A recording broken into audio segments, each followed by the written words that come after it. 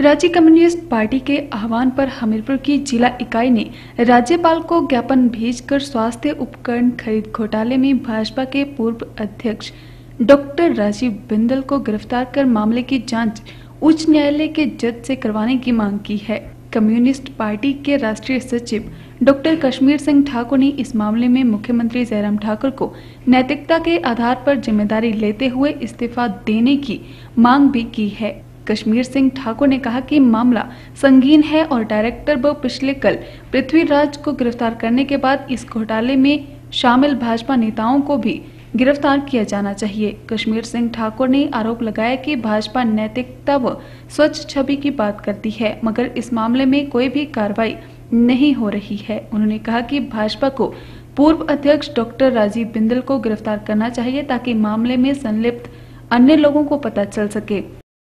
आज भारत की communist party मार्क्सवादी की ओर से, राज्य कमेटी की ओर से, हम लोगों ने आज एक ज्ञापन राज्यपाल महोदय को दिया है। और हिमाचल प्रदेश में जो स्वास्थ्य उपकरणों में जो घोटाला हो, इसमें राजीव बिंदल ने सेल्फ एडमिशन मॉरल ग्राउंड पर इस्तीफा दे दिया है। और एक तरह का प्रेमसाई केस है, एडमिशन है, कि हाँ जी, हम भी शामिल हैं इसके अंदर।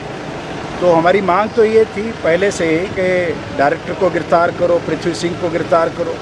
पृथ्वी सिंह दो दिन पहले गिरफ़्तार हुआ है, पर अभी राजीव बिंदल की गिरफ्तारी नहीं हो रही है।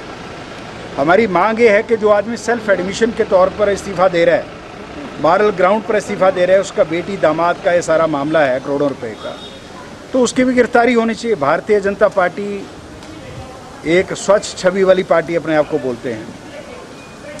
ये उनका इम्तहान भी है। अगर वो स्वच्छ छवि वाले हैं तो उनको अपने अध्यक्ष की गिरफ्तारी का तुरंत आदेश देना चाहिए और नहीं हो रहा है। इसलिए आज हमने राज्यपाल को ज्ञापन दिया है कि आप एक तो जो भाजपा के नेता इसके अंदर शामिल हैं, उनका गिरफ्तारी का आदेश दें।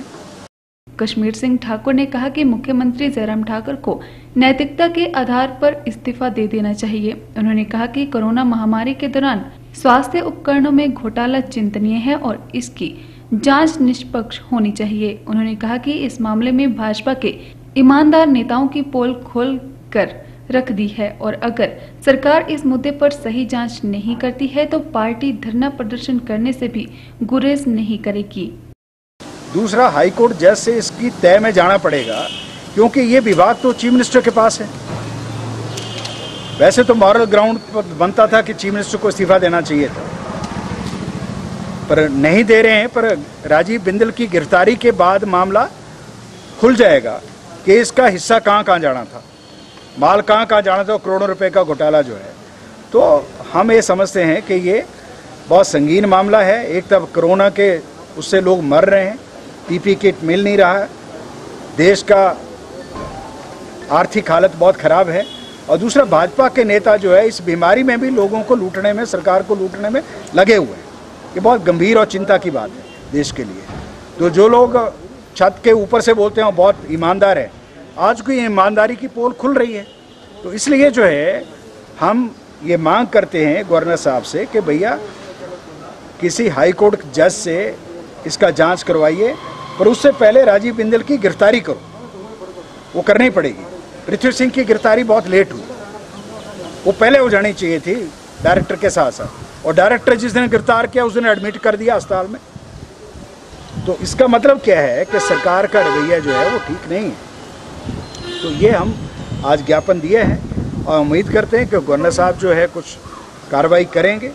नहीं करेंगे तो आंदोलन भड़केगा इसमें।